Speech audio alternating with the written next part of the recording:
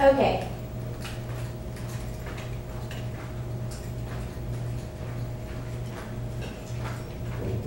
Our lesson today is surface area.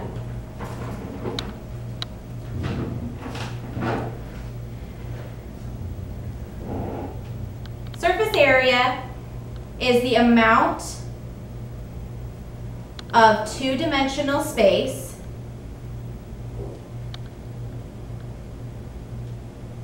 of all the faces, or we can call them sides, of a three-dimensional figure.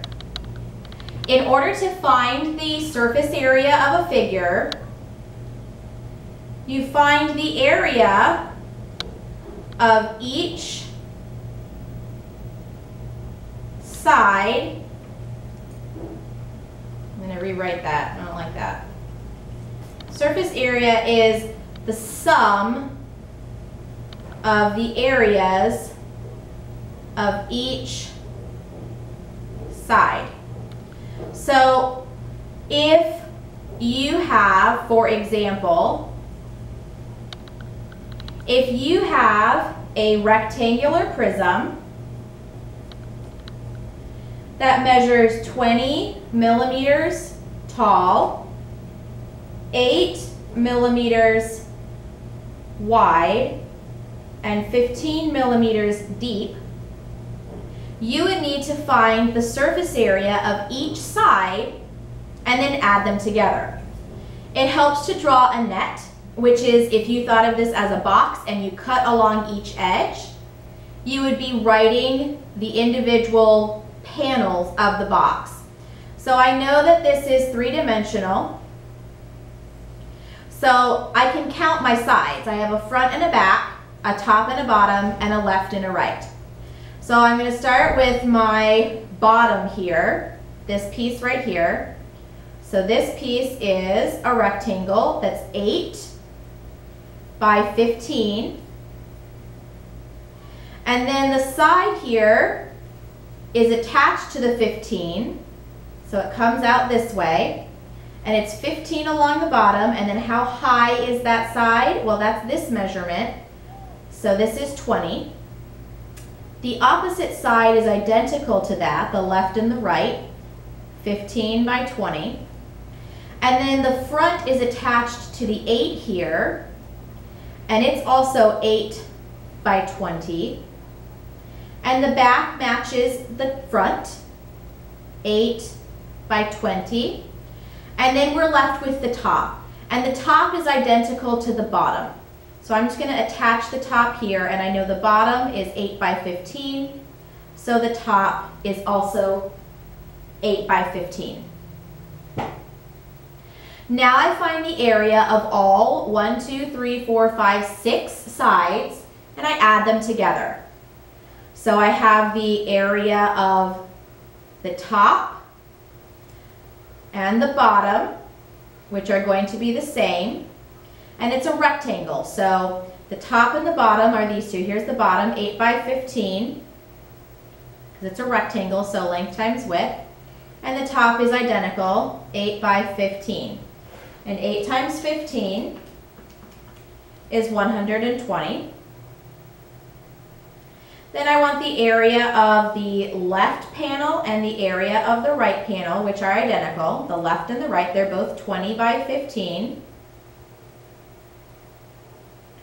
And 20 times 15 is 300. And then I want the area of the front and the area of the back. And the front, they're the only ones I haven't used yet. I've used this one and this one, this one and this one.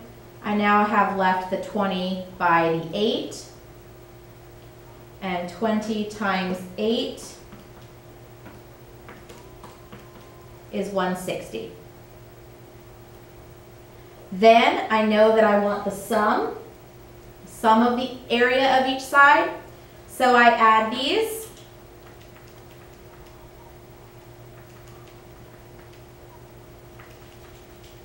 And I get 1,160 square millimeters.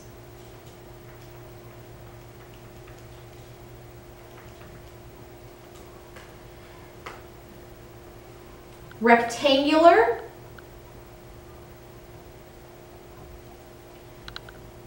square or other quadrilateral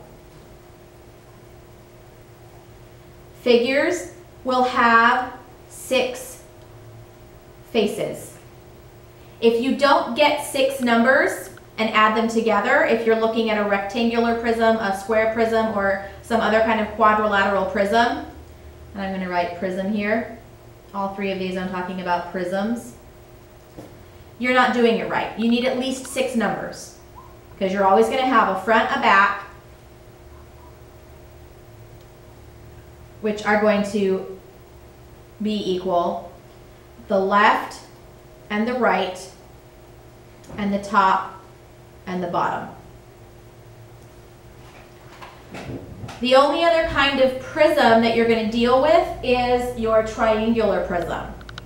And a triangular prism looks something like this. It still has a front and a back, which are equal. But instead of having a left and a right and a top and a bottom, a triangle only has three sides. So you have three faces. And we call them lateral faces because they're on the sides. If your prism were drawn this way, then the front and the back would actually be the top and the bottom. But you would still only have three lateral faces. This one, this one, and then that back panel. So I guess you could technically think of it as a left and a right and a bottom, or a left and a right and a back, but there's no fourth piece. You would still solve it the same way. If you had a prism that was, let's say, seven feet, eight feet, I know this is not to scale, and then the height from top to bottom. So remember your height of your triangle is from the top perpendicular to the base. Let's call that three feet. You would still draw your net. There's my bottom piece, which is seven by eight. And you would draw the two side panels here, which are seven by, oh, they have to give us this. This is five feet here. So these are seven by five. The diagonal part here is five.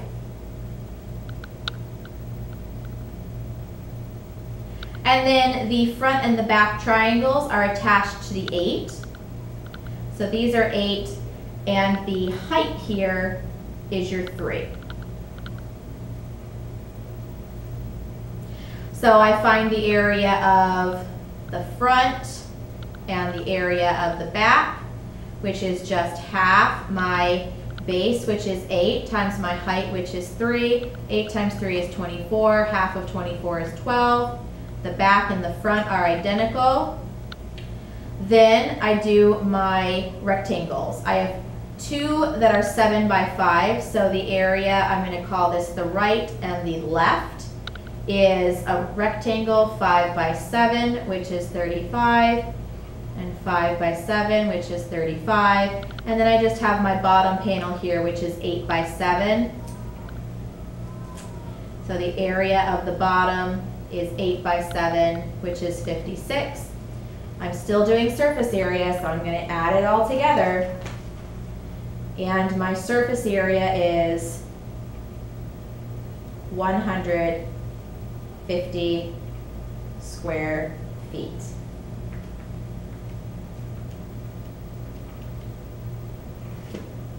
The key is drawing the net.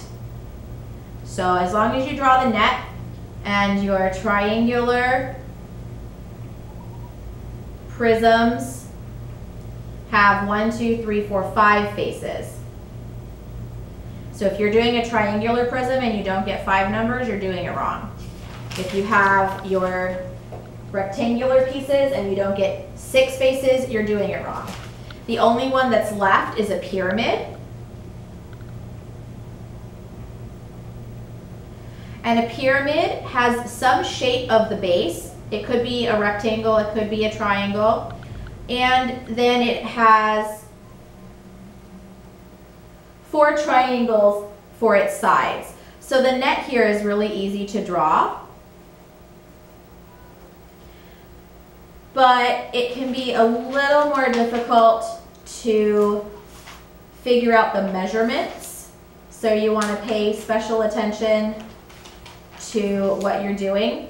So let's say this is a 10 by 10 square and the height of the triangles is 7. So then each of these would be 10 by 10, but the height of each triangle would be 7. So the area of all the triangles would be the same. Half the base, which is 10, times the height, which is 17. Well, 10 times 7 is 70. Half of 70 is 35. And how many do I have? 1, 2, 3, 4. So times 4 triangles gives me 140. Then all that's left is my base, which here it's a square, so 10 times 10 is 100. I add my two areas and get my surface area of the entire pyramid. This would work even if you were doing the area of, let's say, a triangular prism. You would just do the area of the base and it would be a triangle. So, now you have enough information to find the surface area of whole pieces. You also, for, uh, there is a formula for surface area of prisms.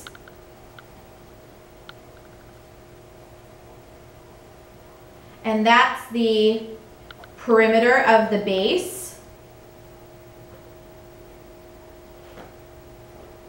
times the height plus 2 times the area of the base. So you could do the perimeter of the base times the height and add that to 2 times the base area. Um, for a rectangular prism, you could do that. Um, I like the nets better, but it's up to you what you want to use.